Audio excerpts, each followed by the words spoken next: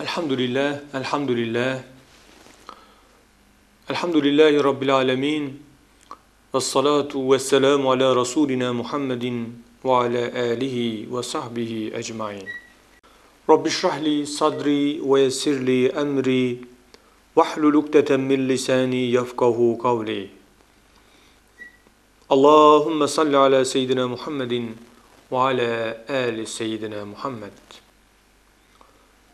Muhammedin ve ala ali seyyidina Muhammed. Euzu billahi mineşşeytanirracim. Bismillahirrahmanirrahim. Ya eyyühellezine hadu in za'amtum ennekum evliya'u lillahi min dunin nas fetebennevul mevte in kuntum sadikin. Ve la yetemennevnehu ebeden bima kaddemet eydihim. Vallahu alimun bizzalimin. Sadakallahul azim. Değerli kardeşlerim, Cenab-ı Hak Cuma suresi 6. ve 7. ayeti kerimelerinde Allah'ın dostu olmanın gerçek bir ölçüsünü bize veriyor. Kul ya eyyühellezine hadu Ey Yahudiler! İn zaamtum ennekum evliyâ'u lillahi min dunin nas. Bütün insanların değil de yalnızca kendinizin Allah'ın dostları, Allah'ın sevgili kulları olduğunu iddia ediyorsanız fetemennevul mevte in kuntum sadikin. Eğer bu iddianızda doğruysanız, sadık iseniz haydi ölümü temenni edin bakalım. Ölmeyi temenni edin bakalım. وَلَا يَتَمَنَّوْنَهُ اَبَدًا بِمَا قَدَّمَ اَيْدِيهِمْ Halbuki onlar önceden yaptıklarından, takdim ettiklerinden, gönderdiklerinden dolayı ölümü asla temenni etmezler. Vallahu alimun bizzalimin. Allah zalimleri çok iyi bilir. Sevgili kardeşlerim, Yahudiler Hz. Musa'ya indirilen Tevrat'ı o vefat ettikten bir müddet sonra tahrif ettiler, değiştirdiler. Ve bununla da yetinmeyerek Kur'an'ın ifadesine göre nahnu ebnaullahi ve ahibbaihi yani biz Allah'ın çocuklarıyız ve Allah'ın sevgilileriyiz. Allah'ın sevgili kullarıyız iddiasında bulundular. Değerli kardeşlerim, bu ayet, okumuş olduğumuz bu ayet, böyle iddiada bulunan Yahudilere ve bunlar gibi düşünen bütün insanlara aslında bir ders veriyor, bir ölçü veriyor.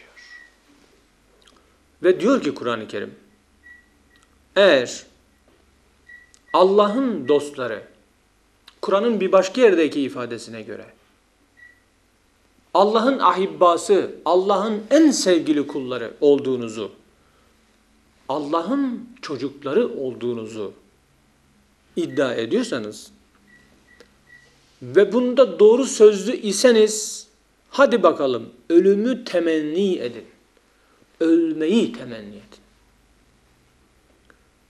Peki böyle diyen insanlar normal şartlarda Allah'a kavuşmayı sevmesi gereken insanlar değil midir? Değerli kardeşlerim. Allah'ın sevgilisi olduğunu iddia eden bir insan, Allah'ın dostu olduğunu iddia eden bir insan, dostu olduğu Allah'a kavuşmak istemez mi? Onun yanına gitmek istemez mi? Onun yanında da yüksek bir değer ve mevkiye sahip olmaz mı? Evet olur ama bunlar sözlerinin, iddialarının boş ve yanlış olduğunu bildiklerinden dolayı çünkü gerçekten insanın diliyle ben Allah'ın sevgili kuluyum, ben Allah'ın dostuyum demesi, onun hakikaten Allah'ın dostu ve sevgili kul olduğunu göstermez sevgili kardeşler. O insanın tavrı önemlidir, davranışı önemlidir. Allah'a olan bağlılığı önemlidir. Merbutiyeti önemlidir. Nispeti önemlidir. Allah'la güzel münasebeti önemlidir. Sen Allah'ın kutsal kitabını değiştir, tahrif et, ibadetleri kendine göre yont, oruç tutmayı kendine göre değiştir, sıcak mevsimlere geliyor diye bahar mevsimlerine getir, aç kalmak zor diye bazı yemekleri yemeyi kendine efendim yasakla ve buna oruç de. Sonra da de ki ben Allah'ın dostuyum. Allah benim dostum. Ben Allah'ın sevgili kuluyum. Biz Allah'ın sevgili kullarıyız. Allah'ın nezdinde değerimiz yücedir de iddia et. Ve ondan sonra Cenab-ı Hak sana sorsun desin ki ey kulum onu mu iddia ediyorsun? Doğru musun bu sözünde? E o zaman hadi ölümü temenni et bakalım. Bana kavuşmayı temenni et de gör. Sen Allah'ın sevgili kulu imiş misin yoksa değilmiş misin? Bunu göreceksin orada demek istiyor sevgili kardeşlerim.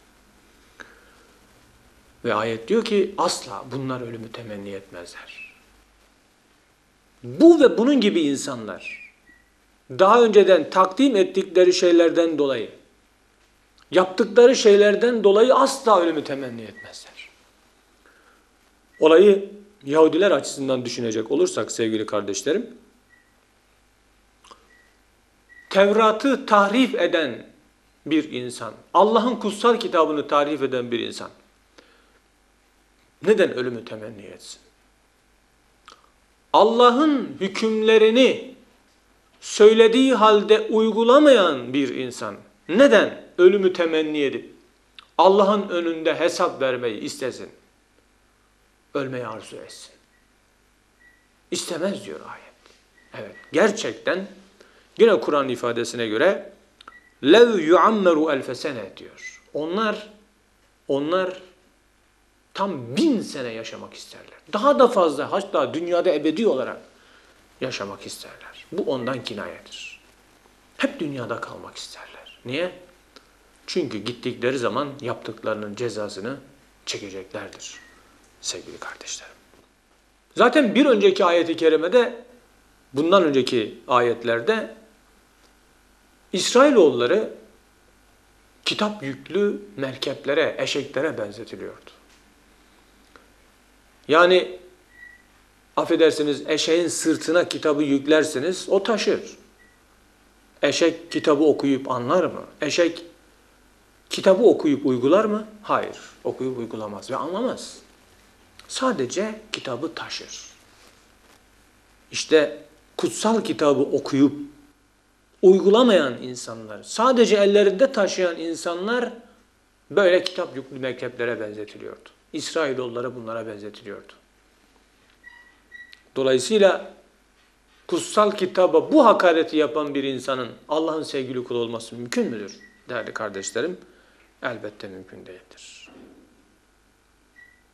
O halde Allah'ın sevgili kulu olmak, Allah'ın dostu olmak, kitabın hükümlerini en güzel şekilde uygulamakla mümkündür. Allah'ın rızasını ve hoşnutluğunu kazanmakla mümkündür. Değerli kardeşlerim, bu ayet Yahudilerden bahsediyor. Ama hani bizim Anadolu'muzda güzel bir söz vardır. Kızım sana söylüyorum, gelinim sen anla denir. Kur'an'ın üslubu da çoğu zaman böyledir.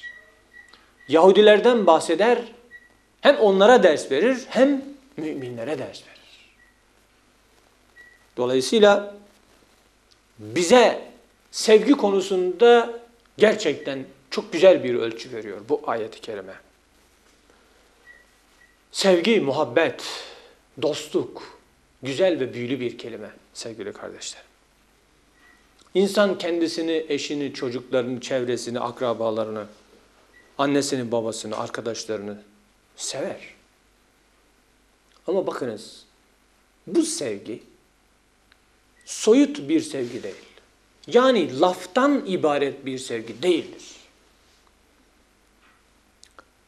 Çocukları, eşi, annesi, babası, arkadaşları için fedakarlık yapmayan bir insan, gerektiğinde onlara yardımcı olmayan bir insan milyon kerede, her gün yüz kerede, bin kerede sevgisini lafla izhar edip gösterse bunun gerçek bir sevgiyle alakası yoktur. Lafla peynir gemisi yürümez der atalarımız. Lafla sadece sözle iş bitmez. Sözcüklerin mutlaka önemi vardır ama arkasından bir fiil, bir davranış gelmediği müddetçe sadece sevgi karın doyurmaz değerli kardeşlerim. Aynı şekilde insan Allah'ı da sevecektir.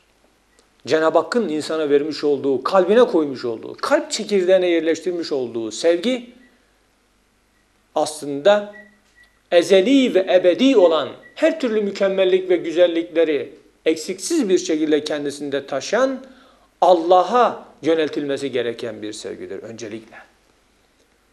Ve bir insan bu sevgiyi hissedip Allah'ı her gün bir milyon kere sevdiğini sözle söylese ama sonra Allah'ın gönderdiği Resulü tanımasa, o Resul'e uymasa, en son Nebi Hazreti Muhammed sallallahu aleyhi ve selleme tabi olmasa, onun getirdiği Kur'an'a saygı göstermese, Kur'an'ın içeriğinden haberi olmasa, Kur'an'ın ne dediğini önemsemese, hükümlerini uygulamasa, onunla alay etse, hatta onun hükümlerini kafasına göre değiştirmeye kalkışsa, bu insan milyon değil, bir trilyon kere de Allah'a seni seviyorum Allah'ım, sen benim dostumsun, ben de senin dostunum dese bu insan yalancıdır.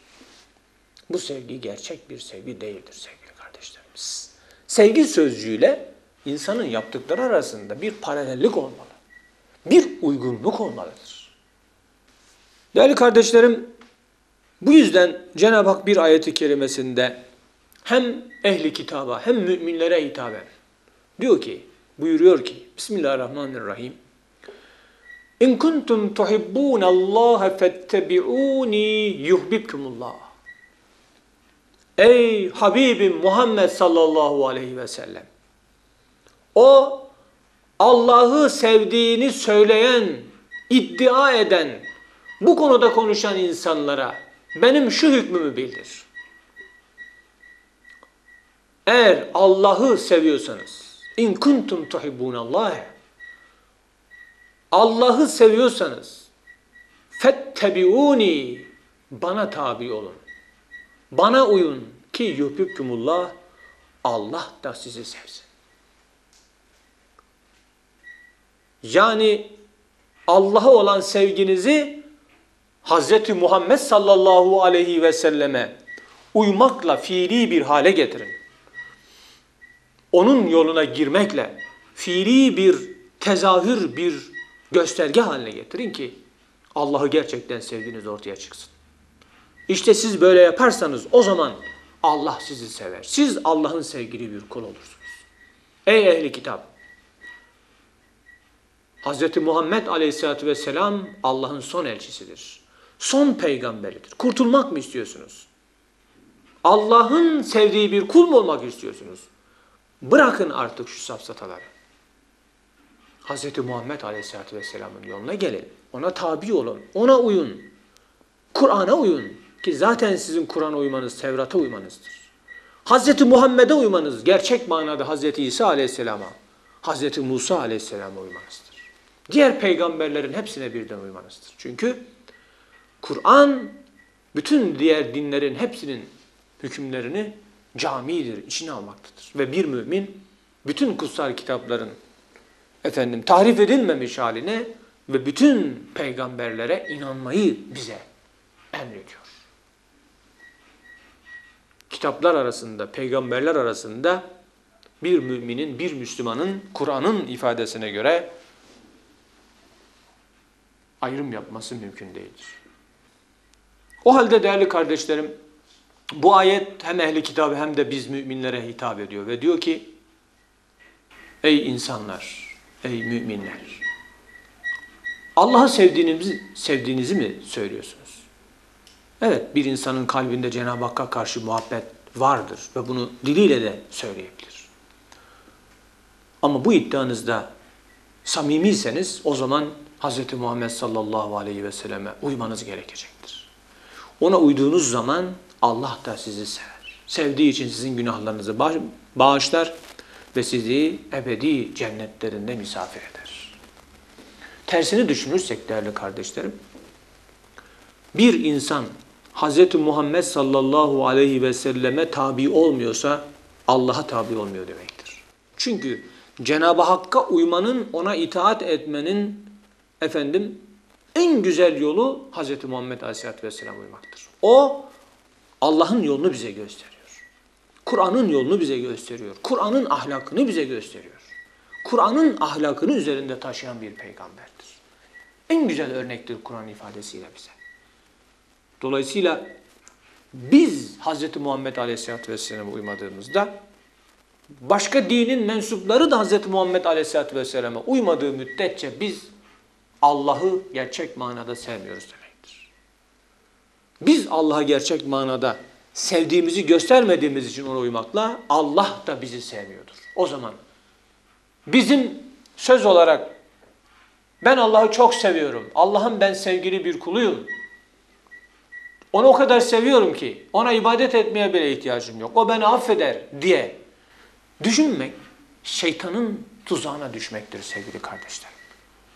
Şeytan tarafından aldatılmaktan başka bir şey değildir. Bazılarında böyle bir düşünce var. İçim, kalbim benim sevgi dolu, çok temiz. Allah'ımı çok seviyorum. Peki kardeşim namaz kılıyor musun? E hayır kılmıyorum. Oruç tutuyor musun? Tutmuyorum. Sadaka zekat veriyor musun? Vermiyorum. Şu şu şu güzel ahlakları hayır ama ben Allah'ı çok seviyorum. Şimdi bu sevgili kardeşlerim yanlış bir düşünce, yanlış bir inanıştır. Allah'ı seviyorsan Hz. Muhammed'e uyacaksın. Ona uymak Kur'an'a uymak demektir. Ona uymak Allah'a uymak demektir. Kurtuluşa ermenin başka bir çaresi de zaten yoktur sevgili kardeşlerim. Bu yüzden kısaca şunu söyleyebiliriz. Efendim Allah'ı sevdiğini ve Allah'ın sevgili kulu olduğunu söyleyen, böyle düşünen bir insan peygamberimize uyar peygamberimizin yolundan gider ve böyle bir insan Allah'ı da sever. Allah'ı sevdiğini böyle göstermiş olur ve Allah'a da kavuşmak ister. Yani ölümü de ister, ölümü de sever değerli kardeşlerim. Hani Ya Rabbi beni öldür diye dua etmez ama ölümden de korkmaz değerli dostlar. Bu yüzden Peygamberimiz aleyhissalatu vesselama uymanın ve tabi olmanın, Kur'an'a tabi olmanın, Allah'ın emrettiği şeyleri yapmanın, yasakladığı şeylerden kaçınmanın Cenab-ı Hakk'ı sevmemizin bir ölçüsü olduğunu burada unutmayalım değerli kardeşlerim. Ve önemli bir ölçüde bizim bu sevgimizden dolayı efendim ölümü temenni edebilmemizdir. Ama Yahudiler sadece boş sözden ibaret biz Allah'ın sevgilisiyiz, dostuyuz dediklerinden dolayı böyle bir temenniyi asla etmiyorlar ve etmezler. Böyle bir hataya, böyle bir yanlışlığa hiçbir müminin düşmesini Yüce Rabbimiz istemiyor. Bu yüzden biz müminleri ikaz ediyor sevgili dostlar. Hoşça kalınız. Allah'a emanet olun.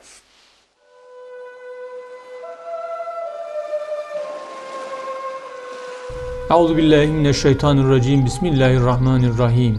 Elhamdülillahi rabbil alamin. Ves salatu vesselam ala rasulina Muhammedin ve ala alihi ve sahbihi ecmaîn.